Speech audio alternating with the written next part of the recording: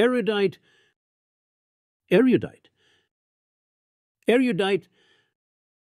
The erudite professor could speak on any subject. Erudite means having or showing great knowledge.